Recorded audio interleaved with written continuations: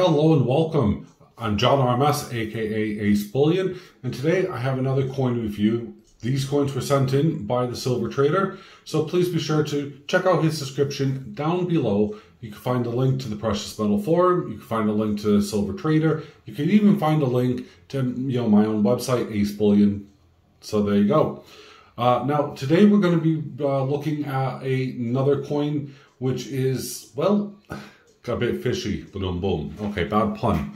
No, actually, it's a really cool coin. Um, and uh, I'm going to dive into it with a complete unbiased opinion. So thank you for watching. Let's uh, crack on. Now, I reviewed this Hahe fish, uh, which is the flying fish, a while back. And today we're going to be looking at New Zealand Mint's latest fish, the porcupine uh, otherwise known as the blowfish. Yes, they're both one in the same. So it's just another name for it, uh, and it is the same fish. Yes. So um, let's crack on. I guess we're going to look at the front of the coin first, and uh, here we go. Now this one has uh, has a denomination, as you can see down below, of five dollars, uh, one ounce, three nines silver, and it has it features Queen Elizabeth II. Uh, the issuing country is Tokelau, and it's the 2020. Now, this is one of the interesting um, facts on this coin. Um, before I get into any of the other details, but um, and there's the reason why I have the Hahe fish here is that both of these uh, coins were issued and minted by the same uh, mint, New Zealand Mint. And uh, if we take a look here, let's have a look down at what I call the Queen's handbag. Nothing. Now, I'm not sure where the quality is being slipped up. Let me just hold two hands, sorry. Um, where the quality is being slipped up or something, but there's not even an imprint. Now, if we take a look at the Hahe fish, just to verify it, okay, and we take a look, now this is uh, this was issued last year in 2020, we're going to see on the Queen's handbag, we're going to see the cross, and we're going to see to, oops, Tokelau Te Tau. I, I probably butchered that. In fact, I know I have, so there you go. Uh, again, $5, three nines. Now, they seem to miss out this bit entirely. So this cross and this bottom inscription. And I find that a bit odd.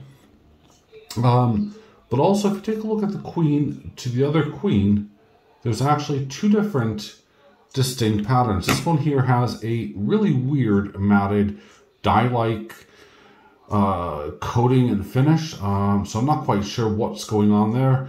Uh, again, I featured you know some of these problems before in you know a previous video. I'll uh, I'll try to drop a link there. It's where I actually I cut up a coin um, and uh, just to prove it was real, of course, and uh, to go on to a bunch of stuff. But no, this is 100% genuine. I find it really fascinating that there's this error or you know mistake.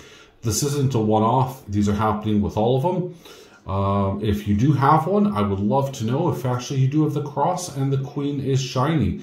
Now, it does appear, um, and it's something I, I kind of want to cut up and look at, almost as if, just around the queen's ear and stuff, that there is that shiny uh, gloss finish. You could just, if you see it right here in the earrings, almost looks like it. Um, and it just looks like they didn't do a thorough job with the cleaning process. And uh, I'm not quite sure what's going on. I will be emailing the New Zealand Mint and finding out a bit more, but everything else on the coin seems to be finished to a high standard. So that's a bit suspect. Now the coin has a reeded edge. And here we go again. Now we have the porcupine fish, uh, aka the blowfish. Um, and, you know, I'm not going to try to pronounce that. The t- yeah, T A U T U. Um, now, I love the design, I love everything about it. And in fact, as I said, similar, you'll see the design is, you know, again, very out there and it stands out.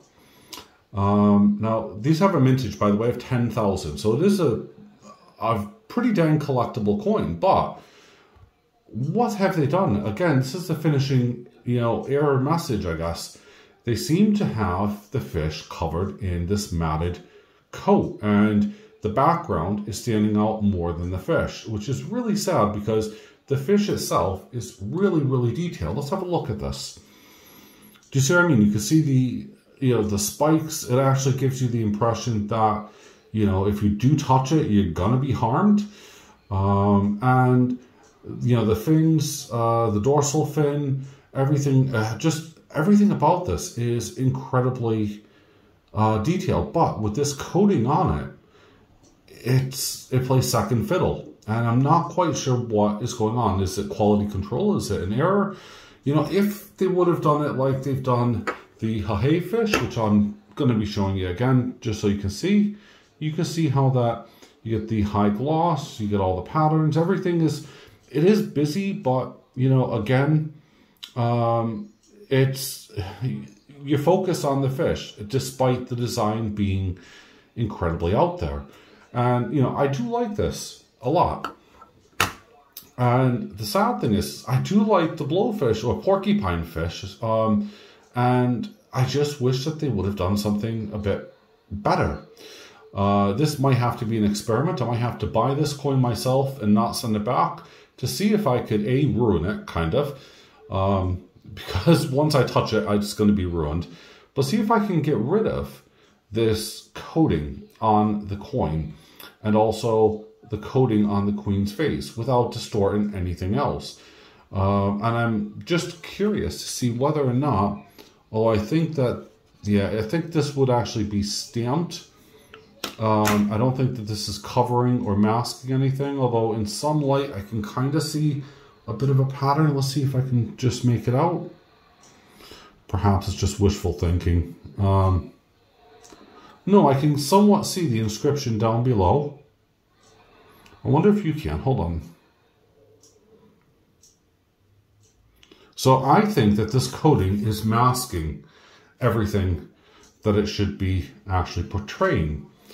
Um, and uh, that's incredibly odd and incredibly bizarre because just like the elephant that I had, as I said, you know, displayed, this is really, really bizarre. Um, and it's not something that we usually find especially from the New Zealand Mint.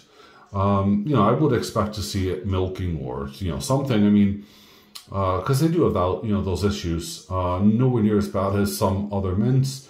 Uh, Royal Mint, cough, cough. Uh, Canadian Mint, cough. Um, but yeah, you get my understanding with it, where it's something's wrong with it. So, would I buy one of these personally? Absolutely. With the low mintage, 10,000, yeah, bring it on. Am I probably going to destroy this coin as in see if I can clean up this? Hmm, I'll let you guys decide if I should do so or not because it's something that I'm curious to see if I can actually clean this up and get this to shine in the high gloss that it really should be. Um, now, you know, I have no problems. I mean, at the end of the day, I'll melt it down. Um, so there's no loss for me, and then there'll only be 999,000 left, as opposed to 10,000 minted. Well, there, would have been 10,000 minted, but of course I'm destroying one. So yeah, let me know in the comments down below what you think about this. Uh, do you think that it's an error?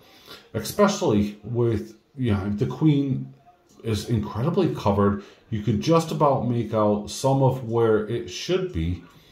Um, you know, shiny and glossy. And again, I'm going to zoom right into her earring, for instance.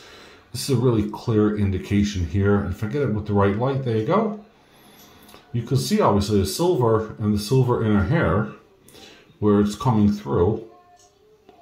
So, I'm just wondering, if I clean that up, if that would actually bring it to the same standards that, let's say, that one is.